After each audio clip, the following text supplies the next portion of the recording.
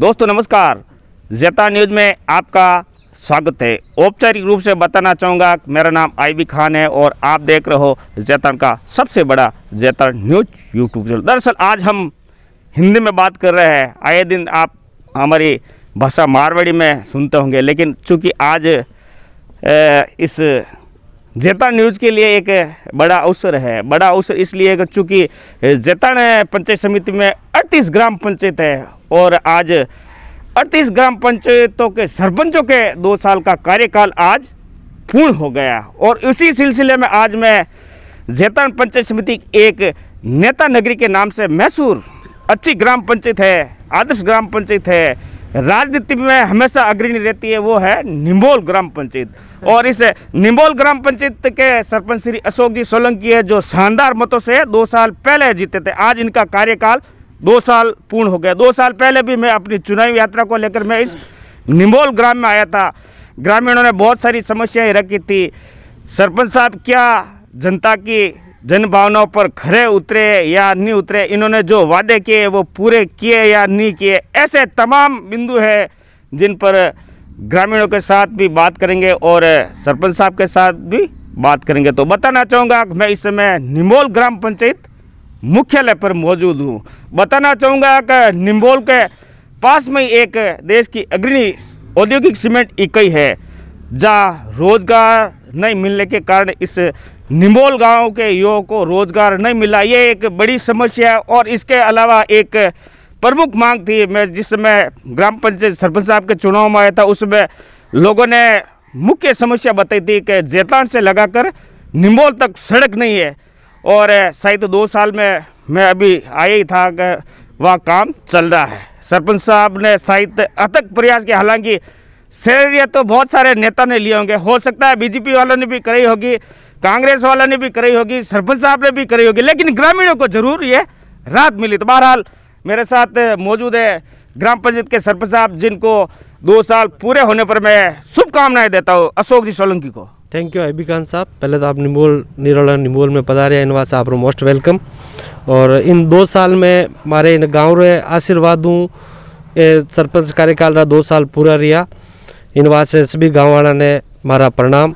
नत और इन तरह आगे हमारे माते आशीर्वाद बनियोड़ो रहे आ मैं आशा करूँ सरपंच साहब इन दो सालों में आपने क्या क्या चूँकि जनता ने आपको जनमत दिया बड़े मतों से आपको इस जैतान पंचायत समिति में साहित्य संबंध जहाँ तक मुझे जानकारी आप दूसरे स्थान पर हो एक सरपंच साहब और है वो भी आपकी तरह भारी मतों से विजय हुए थे आपने क्या दिया इन दो सालों में सरपंच बनते ही एक प्राकृतिक आपदा आ गई थी कोरोना उस कोरोना से संघर्ष करते हुए, इस कोरोना काल में जो हमने पूरे गाँव के युवाओं के साथ के मिलकर कोरोना से होने वाली बीमारियों के लिए, बचाव के लिए दवाई, छिड़काव, सैनिटाइज़र, मास्क, आंगनबाड़ी कार्यकर्ता द्वारा घर घर सर्वे बमासों के द्वारा जो आशाई परिवार थे उनको किट वितरण करना, उसमें हमारा समय निकल गया लगभग साल भर तो। साल भर निकलने के बाद में अभी हमारा सुचारू रूप से जो कार्य चल रहा है, सर्वप्रथम तेरह चौदह सालों बाद में ये निमोल की जो रोड थी ना, वो निर्मेक सीमेंट फैक्ट्री ने ऊपर बढ़ा दी थी। उस वजह से गाँव की जो गोचर का जो पानी तालाब के अंदर पिछले तेरह सालों से नहीं भरा गया था। तो गाँव का बहुत ही बड़ा सहयोग रहा इसमें। सभी ने सहयोग किया और भामासों के माध्यम से लगभग तीन, साढ़े तीन किलोमीटर नहर बनाई। नहर बनाने के बाद में उस नहर के माध्यम से गाँव में तालाब पानी से भरा। पानी से भरने के बाद में भामासों के द्वारा ही पूरे के पूरे 500 पौधे लगाए और आज 100 परसेंट वो सक्सेसफुल है। और वो आपके सामने दिख रहे हैं। आप हाँ, वो मैंने देखे भी है। हाँ तो ये पानी आया पानी की वजह से आज जो पशु थे गाँव में एक घर के अंदर दस पशु है तो दो टैंकर पानी कुटवाते थे। आज वो पशु पानी पी रहे हैं आसपास के बेरों में पानी रिचार्ज हो गया पक्षी भी पानी पी रहे हैं। तो अभी छः महीने के अंदर अभी जो बारिश आई है उसमें कुछ आवंटन हो गए फैक्ट्रियों के जिन्होंने क्या रास्ते अवरोध कर दिए। तो कैचमेंट एरिया से पानी अब क्यू थोड़ा कम आया। तो उसका नुकसान पूरे आसपास के इलाके को, पशुओं को, पक्षियों को, आसपास के जो खेत खेत है, जो पानी के लिए सप्लाई होने वाले थे, जो रिचार्ज होने वाला था, वो नहीं हो पाया। तो हम प्रशासन से ये अपील करेंगे कि जो भी कैचमेंट एरिया में जो गोचर के अंदर जो पोजेशन कर रखा है प्रशासन के बगैर हम कुछ नहीं कर सकते। प्रशासन से हम ये आग्रह करते हैं कि वो, जो भी गोचर में जो अवैध कब्जा कर रखा है और जिनका आवंटन हो रखा है फैक्ट्री वालों का, वो आवंटन किया, कोई बात नहीं बट उनसे पानी की निकासी के लिए पाइप डलवा दे, जिससे ये पूरी गोचर का पानी एक बार तालाब में, अगली बारिश में फिर ये उफान पे तालाब भर जाए और सबको फ़ायदा पहुँच। जाए सरपंच साहब शिक्षक के क्षेत्र में क्या उपलब्धि रही आपकी इस गाँव के लिए? सर्वप्रथम मेरा पहला बजट ही शिक्षा के क्षेत्र में पूरे विद्यालय के अंदर कक्षा कक्ष में सीसी कैमरे लगाए गए, जिससे अनुशासन, पढ़ाई का वातावरण अच्छा रहे।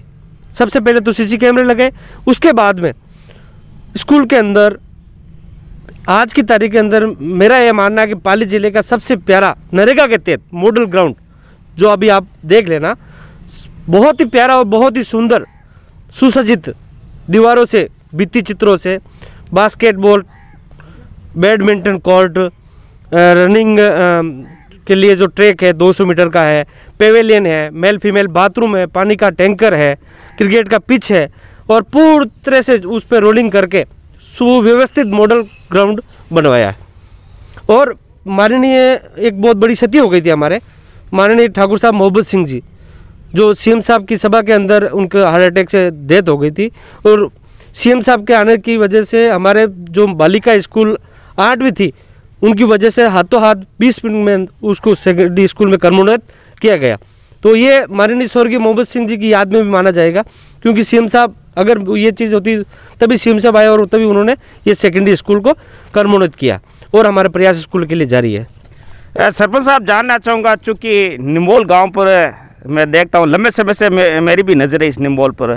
कांग्रेस की भी मेहरबानी है बीजेपी वालों की मेहरबानी है और की भी मेहरबानी। इस बार वाले विधायक साहब की क्या मेहरबानी रही इस निम्बोल गाँव में जो अविनाश जी गहलोत मौजूदा विधायक है? अ, सबसे पहले तो माननीय विधायक साहब बीजेपी के अविनाश जी गहलोत साहब है हमारे और वो सर्व माननीय विधायक है और पूरे जैतान क्षेत्र के है। और इस बार निम्बोल से भी वो वोटों में आगे रहे। और बट विधायक फंड से पिछले मेरे सरपंच बनने में दो साल और उससे एक साल पहले उन्होंने विधायकों से एकमात्र पानी की पाइपलाइन माड़ियाली पे, वो भी पीएचडी के थ्रू डाली थी। उसके अलावा हमें उन इस ग्राम पंचायत में योगदान अभी तक कमी है। हम आशा करते हैं और अपेक्षा भी रखते हैं, सरपंच कोई पार्टी विशेष से नहीं होता है। मैं चार, पाँच बार श्रीमान एमएलए साहब के पास जाके भी आया था। और वो अभी भी जाने के लिए हम तैयार हैं। और हम चाहते हैं कि गाँव के अंदर बहुत सारी रोडें हैं जो टूटी हुई है कुछ जगह पाइपलाइन है विद्यालय के अंदर कक्षा कक्ष है बहुत सारे हॉस्पिटल के अंदर अस्पताल में डॉक्टर कक्ष है तो हम उनसे अपेक्षा रखते हैं और रखना भी वाजिब है। तो हम चाहेंगे कि वो इस निम्बोल की तरफ़ भी ठंडी नज़र रखें और कार्य कराने की कामना करें। मैं सरपंच साहब के पास फिर लौट के आऊँगा कुछ ग्रामीण मौजूद है। क्या नाम है बात साहब का? छोगाराम। छोगराम जी देवासी हो? देवासी। देखो मैं भी क्या पहचान लेता हूँ हुलिये से पहचान लेता हूँ। सरपंच साहब का कार्यकाल कैसा रहा? ईमानदारी से बताना। सरपंच साहब अपना कोई नरेगा में नाम नहीं लिखेंगे या काटेंगे नहीं। हम्म। ये ऐसा साल भर तो कोरोना में चलो गयो साल भर बाद में काम बढ़िया मेरे। गति पकड़ी? हाँ गति पकड़ी। बढ़िया हर जगह रोड है स्कूल में काम है नया राड़ो है बढ़िया काम रहे। ए, मैं मारवाड़ी में कहूँ कि बोर्ड दियोड़ा व्यर्थ तो नहीं कियो? नहीं इज़्ज़त व्यस्त नहीं किया। साल भर तो काम हो कौन सा साल भर हम बढ़िया करे। कोई बात नहीं देखो। कौन सा वाजिब बात है जो वाजिब है सर। काम तो बताना चाहूँगा कि मैं निम्बोल में मौजूद हूँ। बड़ी संख्या में मौजूद एक भाई साहब है पढ़े लिखे भाई साहब है। और हमेशा अग्रणी रहते हैं गाँव के विकास के लिए भी अग्रणी रहते हैं। भाई साहब का स्वागत है। अ, क्या चाहते हो अब सरपंच साहब से इस गाँव के लिए? और क्या नहीं हुआ आपके गाँव में? सरपंच साहब ने जो एक साल तो कोरोना के अंदर चले गए हम सबने साथ मिलकर संघर्ष किया। और कोरोना से निकलने के बाद में सरपंच साहब ने लगातार विकास को उच्च आवाम तक पहुँचाने की कोशिश कर रहे हैं और आगे भी करते रहें और उनसे अपेक्षा है कि एक तो हमारा जो तालाब के पास के अंदर जो गार्डन है, उसको अच्छी तरह से डेवलप कराएँ और ये उनकी यादगार एक ग्रा- गार्डन साबित होगा और ग्राउंड के अंदर उन्होंने बहुत अच्छा किया। कुछ चांदना जी ने बताया है कि मोहब्बत सिंह जी की याद में एक स्टेडियम दिया जाएगा तो जल्द से जल्द सरपंच साहब से अपेक्षा करते हैं कि उसको स्वीकृति लाए और वो खेल मैदान के रूप में बहुत बड़ा जो राज्य स्तर का एक स्टेडियम बना के हमें सुपुर्द करें। ए, दो साल के कार्यकाल से आप संतुष्ट हो? बहुत संतुष्ट हैं। बादशाह जानना चाहूँगा नरेगा में लोगों को रोज़गार मिलता है या नहीं मिलता है? मिलता है लेकिन वो पूरा नहीं मिलता है। कितना चाहिए आपको? कम कम दो सौ रुपये तो मिलना चाहिए। पैसे कमाते हैं। पैसे कमाते हैं। लोगों के नाम तो आते हैं मस्टोल में। हाँ आते क्योंकि गाँव बड़ा है। हाँ गाँव आते वो आते हैं लेकिन एक साथ में नहीं आते वो अलग अलग वो हाँ वो रोस्टर प्रणाली कह सकते हैं। हाँ अलग अलग आते हैं। तो कोई पैसा तो नहीं माँगता नाम लिख के? अब हाल तक तो कोई एडी है कोई कोई बात नहीं तो बताना चाहूँगा मैं निमोल ग्राम पंचायत में एक भाई साहब और है, नाम जानना चाहूँगा सर आपका? गणपति दिवस नाम हमारा वार्ड पंच साहब है। क्या आपने अपने वार्ड में काम करवाया इन दो सालों में? काम बारह एक साल में तो कोरोना हिसाब में काम नहीं रही सा। और अब हमारा वार्ड में बहुत अच्छो काम रही सरपंच साहब री मेहरबानी रही बहुत बढ़िया काम रही और बस्ती में बहुत अच्छो काम रही और काम भी करा वहाँ हाल तो तीन साल है हमारी कोशिश दूँ सरपंच साहब री मेहरबानी हूँ। जितो अच्छो अच्छो काम है जितो वहाँ करावनी गाँव रे बस्ती रे मैंने अच्छो काम करावनी छा बहुत बड़ी बात है आपने कहा कि अकेले वार्ड का नहीं पूरा ग्राम पंचायत क्षेत्र का काम करेंगे। हाँ भाई साहब आपका नाम जानना चाहूँगा। सिंह। उप सरपंच साहब है इस निम्बोल ग्राम पंचायत के। कई बार मैं जाता हूँ तो देखता हूँ सरपंच एवं उप सरपंच साहब के बनती नहीं है। लेकिन यहाँ दोनों ऐसे भयो जैसे हैं। अच्छी बात है ये एक अच्छी पहल है। होनी भी चाहिए। ए, कैसा क्या गुजरा आपका दो साल? बहुत ही अच्छा। हमारे भाई जैसे रहे हम लोग तो। और विकास के काम के अंदर तो एक साल से तो कोरोना था। अब जो ये काम विकास के लिए आ रहा है तो आशा करते हैं कि सरपंच साहब से कि भाई ज़्यादा से ज़्यादा काम करवाना पड़ेगा। ठीक है नहीं? और ये भी काम लाएँगे तो अभी तो अविनाश जी ने तो हमारे साथ दो साल में कुछ ऐसा अनुदान भी नहीं दिया। कोई कोष से पैसा भी नहीं आया। विधायक साहब की नज़रें अभी तक इनायत नहीं है इस निम्बोल ग्राम में। लबो लबान कहानी एक निकल कर ये एक माननीय विधायक है अविनाश जी गहलोत। हालाँकि उन्होंने पिछले दिनों यहाँ इस जो जैतान से लेकर निम्बोल तक जो सड़क है, राज्य सरकार द्वारा जो स्वीकृत की गई, इसका अच्छा भूमि पूजन भी किया गया। बड़े जनप्रतिनिधि भी खूब सारे आए थे। सरपंच साहब, क्या महत्वाकांक्षी योजना भावी आपकी?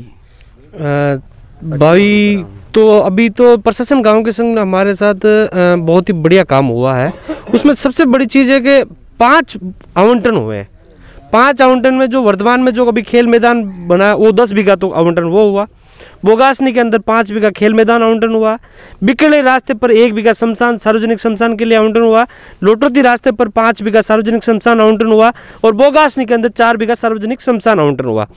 अब मुख्य हमारी रोड हॉस्पिटल से लेकर हमारे जो, बावरियों के मोहल्ले तक मेन मुख्य रोड है। हमारी ये सबसे अब सेकंड यही प्राथमिकता रहेगी ये रोड बढ़िया बन जाए जिससे गाँव में क्योंकि ये मुख्य मार्ग है और सभी को तकलीफ़ होती है।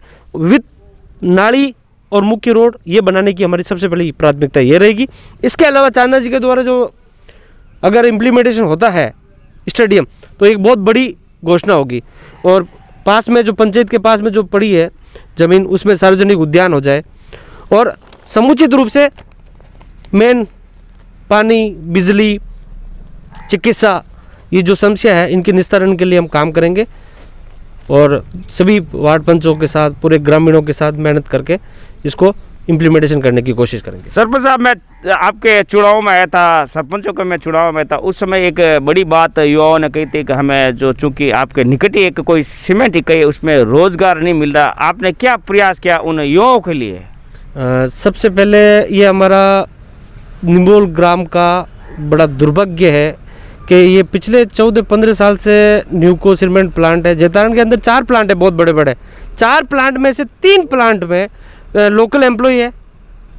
लोकल सीएसआर फंड लग रहा है। वहाँ एक और भी बड़ा मज़बूत पक्ष है।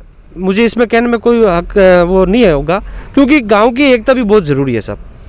और जब तक गाँव की एकता जब तक नहीं रहेगी और मेरे साथ गाँव वाले नहीं रहेंगे, तब तक अपन इन फैक्ट्री से संघर्ष नहीं कर पाएँगे। दूसरी बात, मैं पंचायत स्तर पर हूँ। ब्लॉक स्तर पर जो जनप्रतिनिधि होते हैं, जो अधिकारी होते हैं इनका सारा मैनेज सिस्टम, आप खुद खान साहब समझते हो चीज़ को। इन्होंने गोचर के अंदर रास्ता बना रखा था 2014 में बनाया।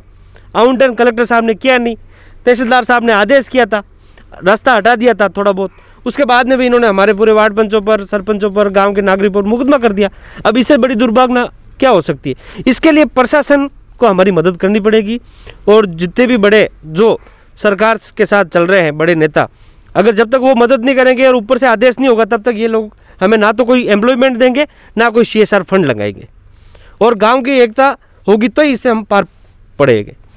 कोशिश कर रहे हैं, हमारे पास रिटर्न वर्क के अलावा दूसरा कुछ है नहीं, और रिटर्न वर्क कहाँ जाता है? अधिकारी के पास ही जाता है, और वहाँ से हम खाली हाथ आ जाते हैं। तो मैं चाहता हूँ प्रशासन हमारा इसमें सहयोग करें, और हमारे गाँव के युवाओं को, जो बाहर जाकर हमारे साउथ के अंदर, वो अगर प्रशासन और उच्च अधिकारी जो चाहेंगे तो आज नहीं दस मिनट के अंदर एम्प्लॉय लग जाए। दस मिनट के अंदर ये सरकारी सेक्शन निकाल दे सीएसआर फंड के लिए। लेकिन उसके लिए वहाँ से होना बहुत ज़रूरी है। ग्राम के प्रमुख जो भी लोग हैं और कोई बोलना चाहता है ज़रूरी नहीं है कि सरपंच साहब के पक्ष में भी आप विपक्ष में भी बोल सकते हो। सरपंच साहब ने कोई गलत काम किया है तो आप भी कह सकते हो हाँ बादशाह क्या नाम आपका? बहना राम माली हूँ मैं। बड़दालो बेरो मारो।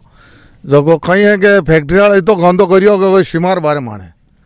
पानी आओ तो तालाव में जगह जगह जगह तोड़ा बना बना ने रोड बनाए दिन पानी टूट रुको दन मानो दंड दान गट पानी पिए। जन बा तोड़ने खातिर नाला गालने खातिर करी मेहनत। तो वो केस लगा रन मैं गाल दे गामड़ान की तकन। वो धंधो तो करियो फैक्ट्री वाला तो। एन सब रोड करना आज पूरी गौशर में ठहरते गौशर में रोड बनी उठी मानी। जब बाई काट दी बा काट दन पानी रुको दन पानी रुको दन गाँव तो तेरा मरनो डंग करियो मानो तो। बात बात है मान करने तो। बादशाह ने बहुत बड़ी बात कही है। बादशाह ने बताया कि जो पानी की निकासी थी, जो पानी का भाव था, उसको इस इन फैक्ट्री वालों द्वारा रोक दिया गया। और शायद यही कारण है कि जो शानदार तालाब बनाया गया है, सरपंच साहब की अगुवाई में जो आप इस समय देख रहे हो ये तालाब, इस तालाब में पानी की आवक नहीं होने के कारण यहाँ के लोगों को परेशानी होती है, मवेशियों को भी परेशानी होती है। तो बहरहाल, ऐसे लोगों को भी आगे आना चाहिए जिनका अवरोध कर रखा शासन प्रशासन को भी ध्यान देना चाहिए। दिनेश भाई। मैं दिनेश जी के पास भी जाना चाहूँगा चूँकि जागरूक है आप भी अंतिम दौर में हम भी। ए, क्या कहना चाहोगे दिनेश जी? मेजर समस्या हमारे निम्बोल में अभी पेयजल आपूर्ति की हो रही है। तो उसके लिए मैं निवेदन करना चाहूँगा खान साहब कि अभी हेलीब्रॉन सर्वे हुआ था जिसमें फ़र्स्ट अपने बांजाकुड़ी के अंदर ट्यूबवेल खुदवाई गई। वहाँ जलापूर्ति फुल मात्रा में मिली है। तो मेरा सरकार से भी निवेदन है निम्बोल का भी हेलीबोन सर्वे हो गया है। और अभी हम टैंकरों के माध्यम से सरपंच साहब ने हमने मेहनत की और स्टोरेज बना, उसमें टैंकर डाल के छः सात दिन में पेयजल आपूर्ति हो रही है। जवई जल योजना में पानी है नहीं, वहाँ तो खेत खलिहान लगने शुरू हो गए। तो यहाँ स्थानीय स्रोत ही काम आएँगे। तो मेरा निवेदन है कि जल्द से जल्द सरकार वो आंकड़ा जारी करे कि निम्बोल के किस क्षेत्र में जल की उपलब्धता अधिक है। तो वहाँ एक ट्यूबवेल। और विशेष अविनाश जी से मैं कहना चाहूँगा हमारे साथी भी रह चुके हैं हमारे साथ खूब क्रिकेट भी खेली है अच्छे वक्ता भी है। अभी विधायक है अभी विधायक है। अभी विधायक है। तो विधायक जी ने यहाँ अपने राम चबूतरे पे कहा था कि भाई मैं आपको एक पेयजल आपूर्ति के लिए ट्यूबवेल देता हूँ विधायक कोष से लेकिन आज दिन तक दी नहीं। जो भी दो ट्यूबवेलें हुई हमने सरकारी फंड से हमने खुदवाई थी उनमें पेयजल है लेकिन इतना नहीं है। तो विधायक जी से कहूँगा कि भाई हेलीबोन सर्वे हो गया है, आप एक दे दो और एक सरकार से हम ले आएँगे। दो ट्यूबवेल हो जाएगी तो आने वाले गर्मी के मौसम में हमें पेयजल के लिए भटकना नहीं पड़ेगा। बाकी पूरे समूचे जैतान क्षेत्र में ये समस्या है पेयजल की। और विधायक जी ने एक दूसरी बात कही थी कि भाई हम आपको रोज़गार दिलाएँगे। और हमारी सांसद महोदया, उन्होंने भी कहा था। लेकिन पता नहीं ये वोट लेने के बाद पता नहीं कहाँ भग जाते हैं। और का ताला लट लटका देंगे वो कर देंगे लेकिन हम तो ताला लेके तैयार बैठे हैं। विधायक जी दिया कुमारी जी सब आए हम ताला ठोकेंगे सर्वप्रथम। लेकिन आओ तो सही। उनका कहना है कि ग्रामीणों का सहयोग नहीं मिल रहा है। हम तैयार है खुले मन से हम कह रहे हैं सर्वप्रथम आगे मैं रहूँगा। बड़ा ताला जैसा कहेंगे ताला लेके ठोकने का कार्य भी मैं कर दूँगा। लेकिन हमें साथ चाहिए। दिया कुमारी जी ने भी पहले कहा चंदन सिंह जी ने लगाया कि मिल जाएगा वो एक साल हो गए वापस कुछ नहीं। ढाके वही तीन पात प्रदूषण हमारे यहाँ। पेयजल जो यहाँ हो रहा था तालाब में वो रोक दिया। अभी पहले तहसीलदार जी ने आदेश दिया कि भाई ये अवैध रोड है, हमने तोड़ा तो हमारे ऊपर मुकदमा लगा दिया इन्होंने। तो ऐसी ये विडम्बना है। तो ऐसा कार्य नहीं होना चाहिए। और यहाँ के स्थानीय लोगों को रोज़गार के लिए अगर वो कहते हैं, विधायक जी तो हम जब भी वो कहेंगे, उसी दिन हम तैयार हैं। चाहे मरने के लिए भी तैयार है, लेकिन स्थानीय लोगों को रोज़गार मिलना चाहिए। हमने तो संघर्ष किया दस साल, लेकिन सरकार को हमने भी देखा है। सरकारें कहती कुछ है, करती कुछ है। ये सत्य आप भी जानते हो। और किस तरह से अधिकारी ऊपर से ऊपर सुट हो जाते हैं और पता नहीं कितना भ्रष्टाचार करके आपस में मिली भगत कर लेते हैं। तो जो एक आदेश होने के बाद भी हमने रोड़े तोड़ी, मुकदमा, ग्राम पंचायत, पता नहीं कैसे कैसे आरोप लगाए कि शराब पी के आए? एक ये जनप्रतिनिधि है, चाय भी नहीं पीते हैं और इनके ऊपर ऐसे आरोप लगाए। वही पुलिस, जबकि पुलिस के लिए हमने अच्छा कार्य किया। पाँच बीघा भूमि आवंटित करवाई। पुलिस चौकी के लिए आप देख सकते हो। वहाँ जन सहयोग से हमने बड़ा हॉल बनवाया है। लेकिन फिर भी पुलिस हमारा सपोर्ट नहीं करती। तो ये बड़ी विडम्बना है। इस विडम्बना को मैं ये आपके माध्यम से कहना चाहता हूँ, जो भी नेता हमारे ऊपर कोई और आप पेयजल के लिए हमें ट्यूबवेल दे, फैक्ट्री के लिए संघर्ष करना तो हम तैयार हैं। ऐसा नहीं तेईस आयर फिर आ जाए, क्योंकि तेईस में चुनाव ही है। अभी जब आप करोगे तो हम आपके साथ हैं। और विधायक जी पूरे जैतान क्षेत्र के हैं। मैं तो ये कहना, कहीं बीस लाख दे रहे हैं, कहीं पच्चीस लाख दे रहे हैं, वो डाल रहे हैं अपनी आईडी पे फेसबुक पे। तो मैं ये कहना चाहता हूँ कि निम्बोल भी यहाँ पंद्रह सौ इक्यावन वोट दिए उनको। ठीक है ना? तो उन वोटों की लाज रखने के लिए कुछ तो दे दो। भाई आप अगर जो कुछ भी देना चाहते हो जहाँ, वो हमारे गाँव को दीजिए। दिनेश वैष्णव, निम्बोल। तो बताना चाहूँगा कि मैं इस समय निम्बोल ग्राम पंचायत मुख्यालय पर मौजूद हूँ। भाई साहब की व्यक्तिगत पीड़ा नहीं है, इन्होंने ग्रामीणों की पीड़ा रखी। इन्होंने कहा कि माननीय विधायक जी उन्होंने अपने कार्यकाल में शायद उनका भी साढ़े तीन साल या पौने चार साल का कार्यकाल होने आया। लेकिन अभी तक ये बता रहे कि विधायक कोष से या कोई स्वीकृति नहीं दी है। तो उम्मीद करना चाहेंगे कि इस गाँव पर भी, दूसरी जगह ग्राम पंचायतों में जैसे देते हैं उसी तहत इस ग्राम में भी विधि कोष से जो भी है, राशि दे। तो बहरहाल लेता हूँ इस निम्बोल ग्राम पंचायत से इजाज़त। आप बने रहे इस जेता न्यूज़ के साथ। हम ऐसे ही वीडियो है जो अच्छे, ईमानदार सरपंच है, सक्षम सरपंच है, जो जनता की वाकई में सेवा करते हैं, ऐसे सरपंचों को आगे लाने का प्रयास करेंगे। धन्यवाद नमस्कार जय हिंद।